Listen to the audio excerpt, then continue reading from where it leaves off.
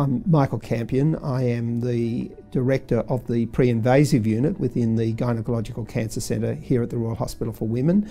I'm Associate Professor at the University of New South Wales, which is the university with which we are affiliated.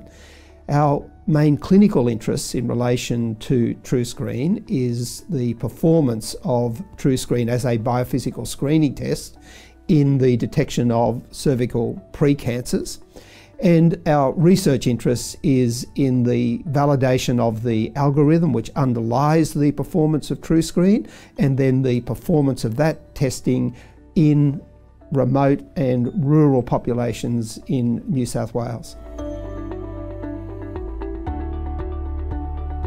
I guess over the past 40 years, my main clinical interest has been in the prevention of cervical cancer, in the detection of pre malignant lesions and uh, treatment thereof. As a result, the new screening tools that have come online have been a area of both clinical and research interest for me. It's an amazing reality that perhaps the best of the biophysical screening tools, certainly for cervical cancer, has been developed entirely in Australia. The research and testing was conducted in many countries around the world, but the technology that underlies it has all been fully developed in Australia. This is the TruScreen device and it releases from its tip some uh, light wavelengths and some electrical frequencies.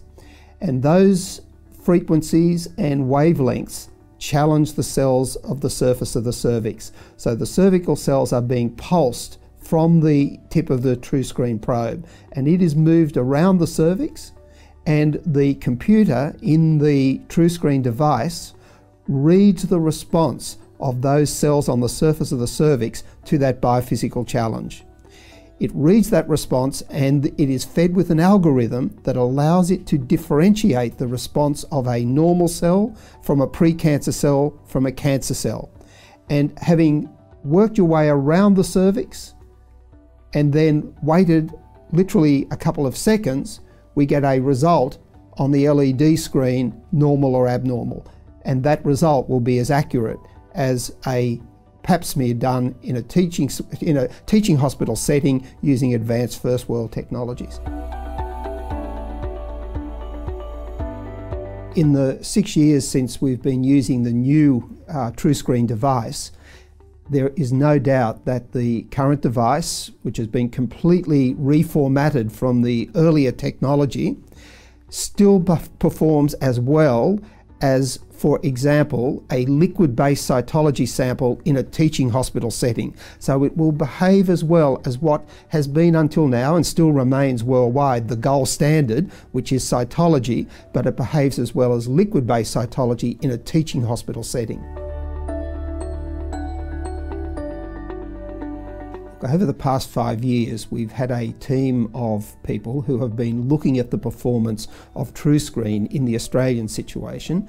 We've been looking at it in terms of its performance in the colposcopy clinic, in this setting, as well as testing and validating the algorithm and the performance of the device. It actually helps inform colposcopy. So, if, for example, we've got a woman with an equivocal screening test and she has a positive TruScreen, and if we can't find any obvious abnormality, we'll go back and have a second look because the TruScreen is very accurate and is usually indicating that there's some small abnormality which we might be missing. So it helps inform our uh, efforts in the colposcopy clinic setting.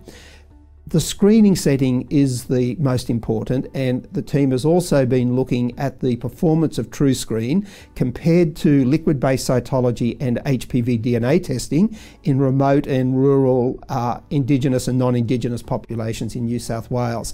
And again, the performance of TruScreen in those settings in the more in the screening setting is every bit as good as those uh, other more traditional screening tools. The main benefit of the TruScreen device is its acceptance by women.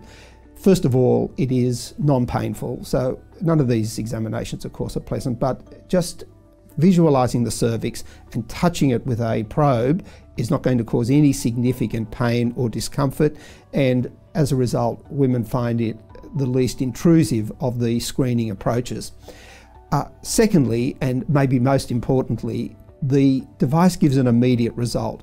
There is no need for cumbersome or expensive laboratory support systems. There's no need to transport a specimen to a remote lab and then get that result back to the provider and to the patient. The result is immediate.